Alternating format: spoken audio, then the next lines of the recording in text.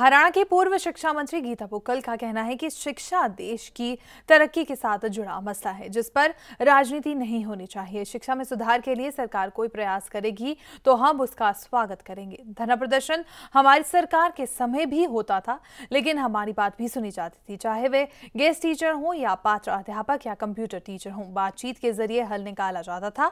हमने कभी भी लाठीचार्ज जैसे अनैतिक काम नहीं किए। हमारे साथ पूर्व शिक्षा मंत्री गीता बुक्कल जी हमारे साथ हैं। बुक्कल जी, सबसे पहले तो आपका स्वागत है डे नाइट में। बुक्कल जी, जिस तरह से अब भाजपा सरकार आई है, कई तरह के आंदोलन जो है लगातार चल रहे हैं, चाहे वो जेबीटी का मुद्दा हो, चाहे वो कंप्यूटर टीचर्स का मुद्दा हो, लगातार जो है लाठीचार्ज हो रहा है। कई ऐसे हालात जो है प्रदेश में पैदा हो गए आपकी भी सरकार रही है। आप किस तरह से देखते हैं? नौ महीने की करीब सरकार हो चुकी है भाजपा की। आप किस तरह से देखते हैं, देखिए, मेरा मानना ये है कि ये सरकार जो है, जो वायदे करके आई, उन पर एक तो पूरा नहीं उतर रही।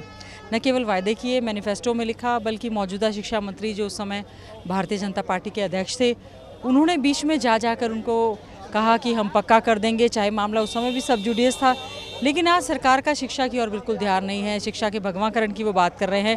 ऐसा कभी नहीं हुआ हमारी सरकार के समय में कि कोई लाठी चार्ज हो, बातचीत के ज़रिए हर जगह समस्या का जो है वो समाधान करना चाहिए, क्योंकि शिक्षा कोई राजनीति करने का मुद्दा नहीं है। बड़ा ही एक प्रदेश की तरक्की के साथ जुड़ा हुआ मुद्दा है, और चाहे वो गेस्ट टीचर्स की बात हो, पात्र की बात हो जेबीटी की बात हो कंप्यूटर टीचर्स की बात हो, समाधान करने की बजाय उन पर जो लाठी चार्ज, आँसू गैस छोड़ा जा रहा है, उस पर हम बहुत कड़े शब्दों में निंदा करते हैं। और इस समय जो स्कूलों में, कॉलेजों में स्थिति है, बड़ी अराजकता सा का माहौल हो गया है कि बच्चों को पढ़ने के लिए ना सही समय पर किताबें हैं, ना शिक्षक हैं पढ़ाने तो जी, एक तरह से आरोप और मर रहे हैं वो कि पूर्व सरकार ने जो बीज बोए हैं उसका जो खामियाजा यहाँ पर भुगतना पड़ रहा है उसको किस तरह से लेते हैं? कोई बात नहीं जो भी सरकार आती है वो अच्छे से काम करने का प्रयास करती है। हमने शिक्षा के क्षेत्र में बहुत ज़्यादा काम किए हरियाणा ने बहुत ज़्यादा तरक्की की शिक्षा को बुलंदियों को छुआ शिक्षा के अधिकार को हमने अच्छे ढंग से लागू साफ़ तौर पर कहना है कि सपने जो है कांग्रेस सरकार ने दिखाए लेकिन अब जो यह हालात हालात जो हुए हैं देखिए, बहुत झूठ बोलकर भारतीय जुमला पार्टी कहेंगे, भारतीय जनता पार्टी को,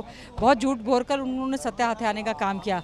अगर हमने, मान लीजिए, कोई भी सरकार आती है, अच्छे से काम करने का प्रयास करती है, आज बहुमत की ये सरकार है, लेकिन लोग जो है, इस समय पूरी तरह से मोहभंग हो चुका है इस सरकार से, क्योंकि जो वायदे उन्होंने किए, वो पूरा करें और कांग्रेस पार्टी जो है, मजबूती के साथ खड़ी है और भारतीय जनता पार्टी ने जो भी वायदे किए हैं, हम उनसे पूरा करवा कर रहे हैं। भाजपा सरकार एग्ज़ाम दिलाने की भी बात कर रही है स्कूलों में, लेकिन किस तरह से हालात हैं, आपको क्या लगता है कि आने वाले दिनों में किस देखिए, अब इनकी कोई किसी प्रकार की कोई तैयारी नहीं है, शिक्षकों की भर्ती नहीं हुई है, जो भर्ती हमने जेपीटी टीचर्स या बाकी जो हमने कर दी थी, अब तक उन्होंने उनकी ज्वाइनिंग नहीं कराई है और ना ही कोई प्लानिंग है, बोर्ड को मतलब इस तरह का लगता नहीं है कि सरकार का कहीं ध्यान जो है वो शिक्षा प्रणाली की ओर है और शिक्षा के अधिकार कानून को अच्छे ढंग से लागू करने के लिए सरकार को प्रयास करने चाहिए और अगर कोई शिक्षा के क्षेत्र में सरकार अच्छा कदम उठाएगी तो हम उसका स्वागत भी करेंगे, लेकिन अब तक शिक्षा के क्षेत्र में विशेष तौर से जो है बड़ा ही दुर्भाग्यपूर्ण रहा है प्रदेश में भारतीय जनता पार्टी का कार्यकाल।